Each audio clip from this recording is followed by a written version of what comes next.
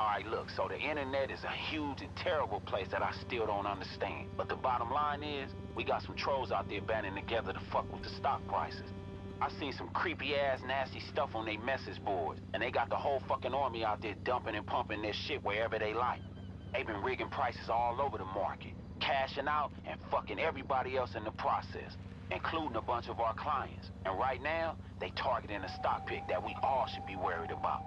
It's a tall ask, but man, I need you to get rid of as many of the ringleaders of these basement-dwelling crooks as you can before they crash the fucking stock.